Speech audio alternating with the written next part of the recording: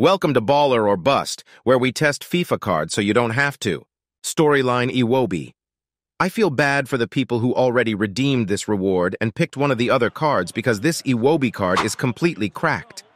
I did not expect this at all, not going to lie. Marksman Chem style makes him mostly lengthy, which makes him feel so fast with his already 89 pace.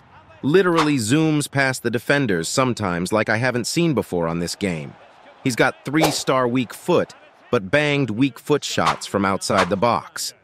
77 finishing, yeah right, this guy can finish great. Mix that pace with his technical play style and 93 overall dribbling stat, and this guy has some insane RB dribbling. 88 composure, we love that.